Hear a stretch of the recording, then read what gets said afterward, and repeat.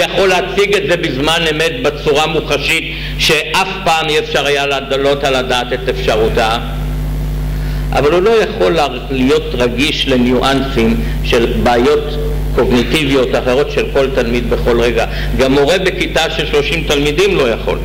אבל פה הזיכרון של המחשב יכול לבוא לעזרתו. כדי,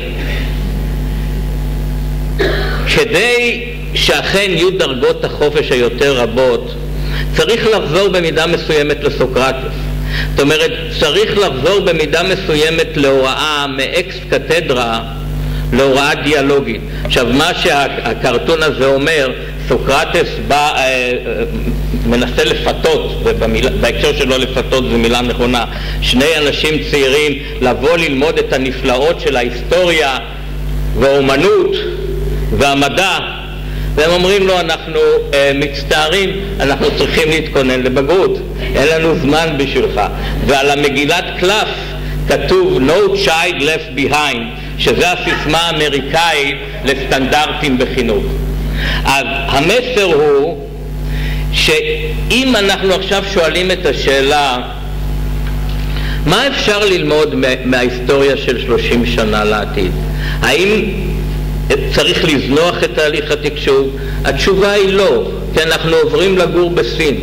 אנחנו כולנו מהגרים בציוויליזציה החדשה, לא משום שהתקשוב יביא להישגים יותר טובים, אולי כבר אפשר... הסיבה היא נורא פשוטה, זאת השפה החדשה. עכשיו השאלה, מה צריך לעשות כדי להסתגל לתרבות החדשה?